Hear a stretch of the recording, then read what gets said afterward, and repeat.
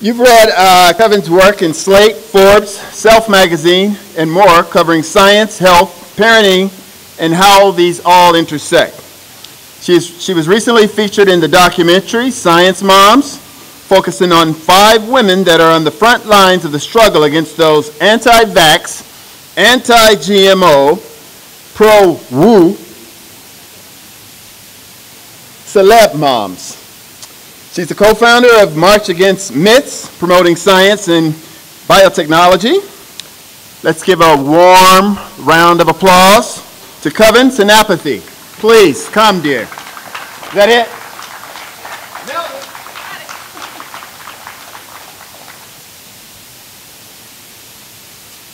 Hello, can you hear me? Good. Let me know if I'm too loud. Um, before I begin, I think Abby's not here yet, but I'm going to be talking a little bit about um, my anxiety and OCD in this talk. So I'd like to thank her for justifying the anxiety that I have around my son's balls. So thank you to David and the organizers for putting this together and for having me here. Um, I've heard that there's going to be video on YouTube, which I've been telling people. Um, I have something to say to the larger skeptics community, but especially to food world skeptics, which I think has implications for free thinkers overall. In part, I need to issue an apology for my role in shaping a scientific, uh, excuse me, a specific movement, the pro-GMO movement, and for the mistakes that I made in leading that movement. It's been burning a hole in my chest uh, for months now, and I thought that Free Thought Day was the perfect venue to articulate this.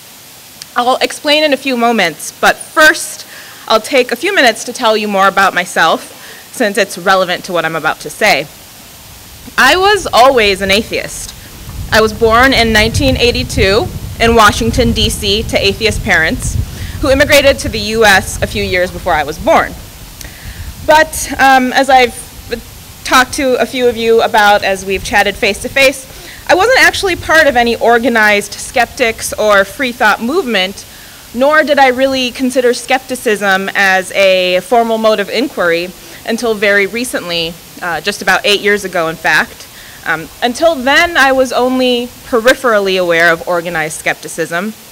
And that's because until recently, at least um, in my mind as a teenager and then a 20 something, um, there was nothing that drew me to organized skepticism. And then, long story short, in January of 2011, um, when I was 29 years old, everything changed. It really did. And that January, my daughter was born. And this is going to sound dramatic, but this is how it felt to me holding the crushing weight of that six pound, nine ounce life in my hands really, really messed with me. Um, as I alluded to earlier, it messed with me so much that it triggered a condition known as postpartum OCD, essentially the onset of OCD symptoms following um, uh, the birth of a child in moms or dads. And it was like a tidal wave of pathological fear. It was like the fear that any new parent experiences, but magnified many-fold. I was constantly terrified, 24 hours a day, of harm coming to my baby. And to dampen the explicit and horrific scene playing out in my mind's eye of my baby girl dying of SIDS, I would tiptoe to her crib at all hours of the night, when I should have been sleeping, to place my hand on her body and count her breaths and gaze at the rise and fall of her tiny chest. I had to count five breaths, and if I wasn't sure that I counted the five breaths just right, I took my hand off of her chest, and then I did it again and again, ad nauseum. Another example, to dampen the vivid image of my family dying in a fire, I would tiptoe to the stove at all hours of the night, touching the stove knobs in multiples of five again, and staring at them to make sure that the stove was off. When you're in the grips of OCD, you know that you're personally responsible for preventing these almost prophetic visions from coming true, even though you know in the rational part of your mind that what you're doing is ridiculous and not at all rational. I find it equal parts chilling and fascinating in retrospect, um, which is part of why I've written about OCD several times. But um, before I was diagnosed with OCD, in those first few crucial months of motherhood, the information was coming at me in all directions, um, the way it comes at all parents, uh, maybe since you know many generations ago, but especially today. My family, my friends, and the internet were all telling me that everything was full of toxins, from the products in my home to the food in our pantry, and um, and the clothes on my baby's back. And looking back at this pivotal time, there were two possible outcomes, at least on a macro level. I could either A, fall headfirst down the path I was starting on, and perhaps fall irre- irrevocably into a rabbit hole of woo. Um, combine that with OCD, and it could have been bad. I truly shudder to think about it. But instead, I found the skeptics movement, and I found Zoloft, and it led me to option B. I clearly remember opening uh, a copy of The Baby Book by Dr. Sears, which I had received as a gift. I couldn't have known uh, at the time that Dr. William Sears, known as the father of attachment parenting, was also a proponent of a lot of unsubstantiated, fear based parenting ideas. Now, a disclaimer I don't think all tenets of attachment parenting are bad. For example, I think it's great if you want to breastfeed your baby. I also think it's great if you want to combo feed or formula feed your baby. Hashtag Fed is best, and shout out to the Fed is Best Foundation. I think it's great if you want to wear your baby, but the implied and sometimes explicit message from internet forums associated with attachment parenting and its tenets went something like this. If you don't exclusively breastfeed your baby for at least six months, then you are risking damaging her for life. I later found out that this is not true. The internet told me that if you let your baby cry even a few minutes at a time, um, you're risking damaging her psychologically for life. I later found out that this isn't true, despite all the times I held my bladder because my baby was crying. I was told, even before I had my baby, that if you have an epidural to help manage the pain of childbirth, you may end up getting a C section and you may end up messing up your breastfeeding relationship with your baby. And that is also not true, and may I add, really sexist. The alarming claims were seemingly endless, and I was tired and terrified, and just thinking about harm coming to my baby could send me into a cycle of knocking on wood and checking and rechecking stove knobs and door locks. But then I came across the first skeptic's blog that I started reading, Dr. Amy Tuteur's Skeptical OB. And I give her a lot of credit for putting me and countless more like me on the right path, and I've told her, I've told her so. So soon I was devouring more and more skeptic content, which I did in my free time for almost three years before I started writing for a then new skeptics blog, Grounded Parents, uh, a, sister, a sister site to Skepchick. I realized then that I had an opportunity to help other parents feeling overwhelmed by all of the predatory and harmful parenting misinformation that seems to drive a prevailing parenting culture of chaotic and nebulous fear. I wanted to do my part to help make new moms and dads not feel so guilty about the decisions that don't really matter long term and empower them to care about what does matter to them. Another long story short, my work found an audience, and then more audience and it, audiences, excuse, excuse me, and it was clear that I was resonating with people. And nowadays, my bylines appear at a number of different blogs and news outlets where I cover food, health, science, and parenting. And I speak to audiences, including skeptics and free thinkers groups, um, industry events, and universities about these issues, and about science communication and why people believe disinform- disinformation. Um, and now I'm getting closer to the point. Back when I first started blogging, uh, around 2013, 2014 ish, um, one of the most fraught issues making waves in the parenting world um, and the food world was GMOs. Now, disclaimer I'm about to start talking about GMOs for the next several minutes, but I'm not here to discuss the safety or equivalence of genetic engineer as a, engineering as a crop breeding method compared to other crop breeding methods. I'm speaking from the assumption that genetic engineering is as safe as any other breeding method because the vast body of evidence shows that it is. I'm going to be talking about how the conversation around GMOs has gone astray and the larger, larger impact on the skeptics movement. So, as a new parent, I'd started hearing rumblings about GMOs. The stories went that GMOs were the weapon that big agri-corporations used to control us and keep us sick. GMOs may be responsible, the story went, for pur- purported rises in rates of autism, cancer, allergies, and more. They were causing the pesticide, uh, the rate of pesticide use to skyrocket. And I learned that it was better to stay on the safe side and buy organic, um, since the USDA organic program didn't allow organic, or doesn't allow organic farmers to grow GMOs. And GMOs is in quotes for a reason, and I'm getting there. well, as I learned, GMOs, or at least what people perceive as GMOs, were being unfairly demonized. I learned that there are companies, individuals, organizations, and industries with financial and or ideological motivations to systematically mislead the public and demonize GMOs. And the more I learned about it, the more I wanted to shout it from the rooftops. And so I did, and I still do. I wrote blog post and article after article on how GMOs aren't the cause of the myriad problems attributed to them. I tweeted about it until my fingers were sore.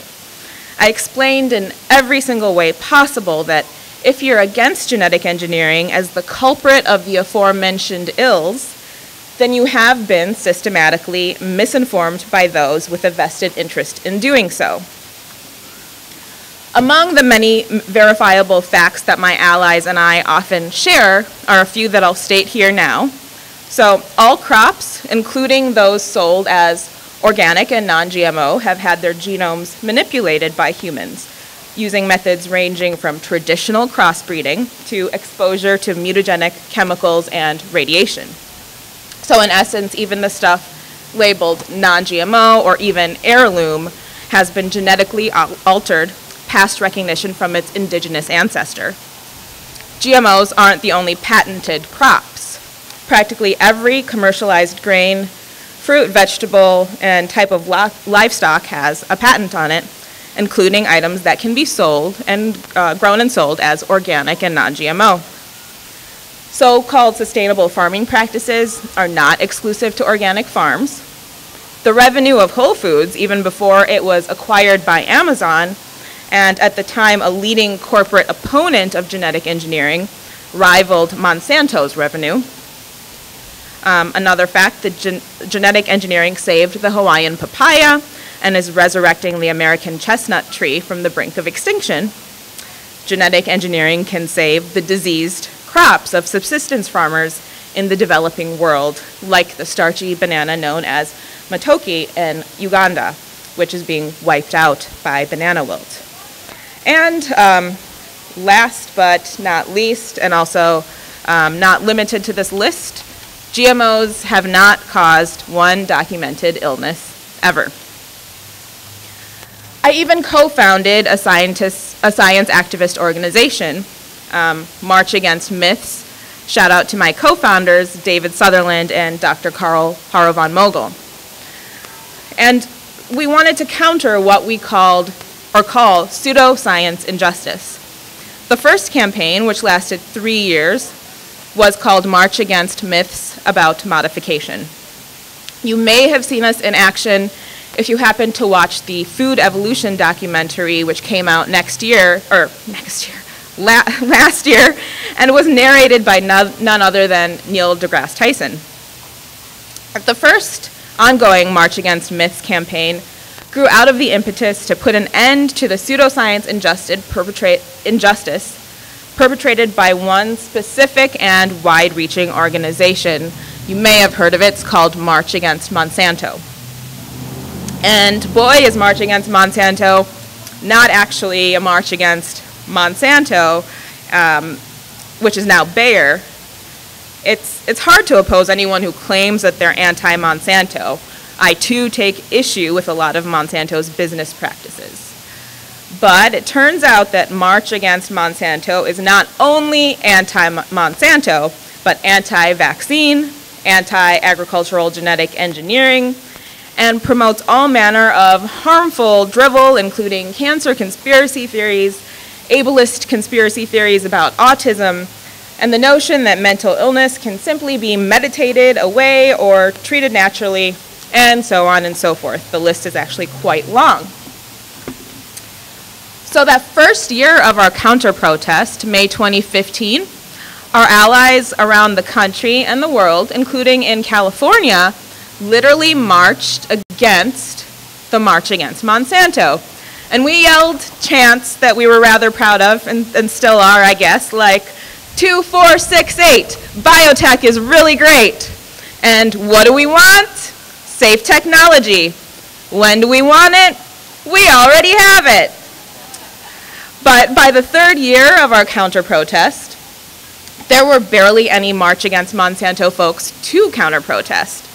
We had confirmed reports from multiple locations that nobody showed up to march where their ranks were strong just a handful of years ago. And I don't want to make causation out of correlation, but we do take some hard earned credit for that.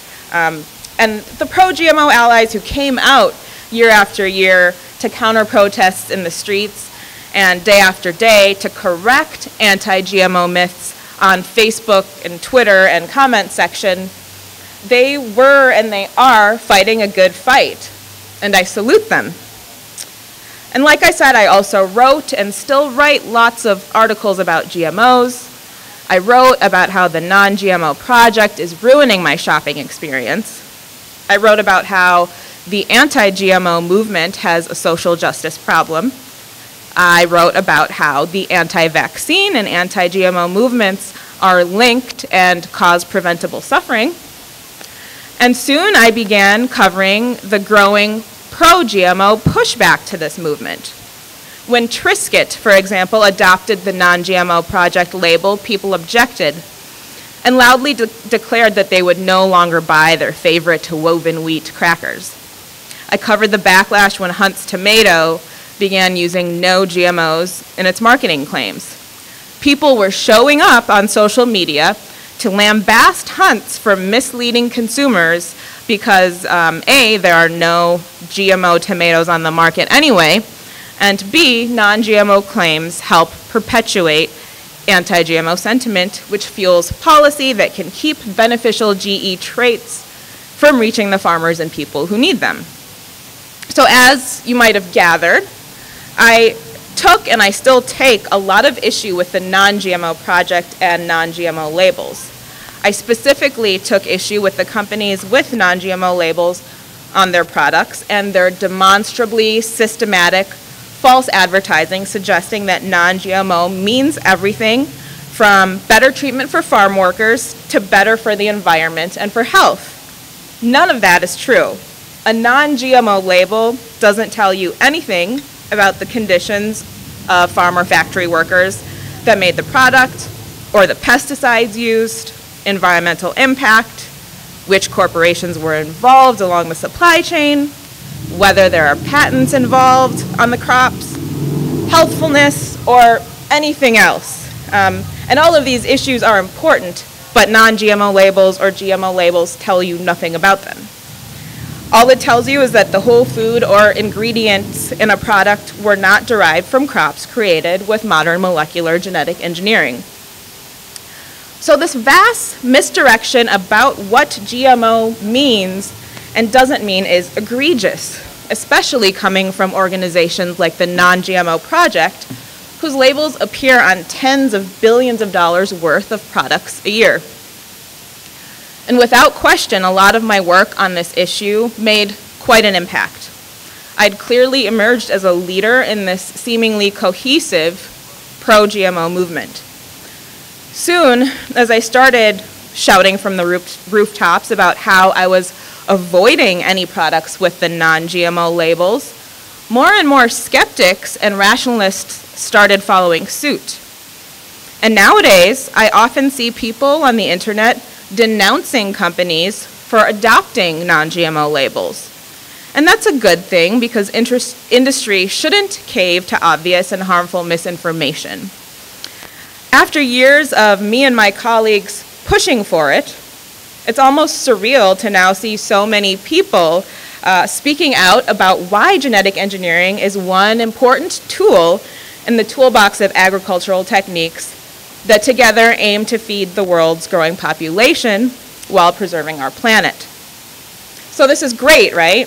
This, is, this was certainly my goal, or at least I thought it was. But something feels wrong about this stronger than ever pro GMO opposition to anti GMO. And this is where my apology comes in, and I hope I make sense here. As much as I stand behind the factual accuracy of everything that I've written and said about genetic engineering, I need to apologize for the role that I played in turning the pro GMO movement into what it is today, which is stronger than ever, but I believe it's overstepped its bounds. So don't get me wrong, I still firmly believe that genetic engineering is a crucial tool to help nourish our growing population in a sustainable way. But here's what's so interesting about GMOs, excuse me, GMO, and what gives GMO so much power and what I only had a nebulous uh, awareness of until recently. GMO represents a lot more than just genetic engineering. It's a, it's a social construct. Like any social construct, what GMO means can vary from person to person. And it's precisely for this reason that the polarization around um, GMO has done us no favors seriously, if you want to see all of the nuance and critical thinking get sucked out of a room, just say GMO. The nuance is gone on all sides. GMO is positioned both by design and by happenstance as a spoke around which conversations uh, about the food system spin. And because food is one of the foundations of life itself, it is powerful. GMO raises a vast array of justified socioeconomic anxieties, including very real anxieties about our environment and the future of our planet, workers' rights, disease rates, corporate control of the food and political systems, and the systemic inequality propping up our society from systemic racism, sexism, and the yet unhealed gaping wounds of the legacies of colonialism, slavery, and environmental destruction around the world. And that might seem like a lot, but from my experience talking about this issue year after year, it really, it really is about all that and more. And because GMO represents so much more than just genetic engineering, and because it can represent so much to different people, um, the, the conversation about GMO is a conversation about all of these things. So, in the last few years, much of the polarization around GMO has centered around labeling, and it's now law. The USDA has mandated that all genetically engineered foods or ingredients must be labeled by the end of this year, but what that label will look like is still not settled.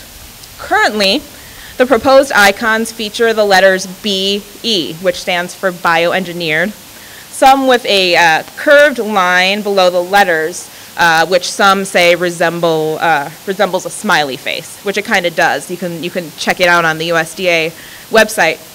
this mandatory labeling decision has driven the pro-GMO camp into a frenzy. They say that these labels stigmatize a useful agricultural technique that can help farmers and people all over the world. And the mandatory labeling decision has also driven the anti-GMO camp into a frenzy.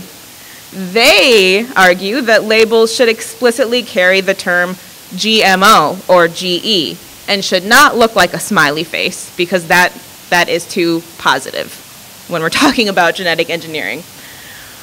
So now we've come to the culmination of a battle of sorts. But what have we solved? Think about it. What are we solving with this fight? And I'm speaking as much to um, hopefully the people who, who watch this later. We haven't solved anything because excuse me, all of the socio-economic issues that GMO raises are systemic, and labels, by their nature, are superficial. So remember I said that we skeptics know how to do our research and to separate truth from fiction, um, and we know how to read and understand a scientific paper. Uh, I would like to let go of that urge for a moment. In other words, yes, it is important as consumers and voters to be educated about food labels and their consequences. But while this battle has raged with ranks on both sides, um, we've forgotten that different values drove us. And now, uh, post-Trump era, and I've heard this raised a few times today, those diverging values have manifested in a divide in the pro-GMO movement. Um, some have condemned and denigrated this divide as infighting and as harmful to a movement that holds science as one of its de dearest values, and surely a movement that is uh, that does fight for the justice of farmers and, and people around the world. So again, I said some have con condemned this divide in the pro-GMO movement as infighting, but it's not infighting. There never really were pro GMO and anti GMO sides. There were just people, people with values. Now, one woman who marched with me on my side against the march against Monsanto three years ago, at that time, our shared value in the need to follow science when it comes to food policy um, was, was strong enough to unite us. But this is the same woman a Trump voter, by the way, I'll just throw that out there, who now fiercely rejects the notion that acknowledging sexism and racism and other structural inequality should drive the way we talk about and shape our food system. To her and others like her, the unity of the pro-GMO movement is more important um, than people like me breaking the pro-GMO ranks to have conversations with so-called anti-GMO enemies on how to achieve goals that we actually all share, um, which uh, include justice in the food system based in the shared value of equity and justice for all. So what I'm saying is now that our values are becoming more and more apparent in the, in the current political climate, the calls for unity in the pro-GMO movement, which again is an emerging movement um, among the larger skeptics movement, um, these calls for unity are counterproductive and um, detrimental. There won't be unity and there shouldn't be unity. So what does this mean for Free Thought Day, for the theme of today's Free Thought Day, which is Discover Reason? As skeptics and as free thinkers, and as people who value what we call reason, I urge you to remember that no issue that we're passionate about, be it GMOs or vaccines or atheism, should require us to walk in lockstep, especially around issues of scientific significance. Remember that while the scientific method may be the way that we interact with the world largely by choice, the scientific method is wielded by people, and what drives those people are values. And remember that the people who hold the power to wield science on a broad scale control that conversation. Thanks.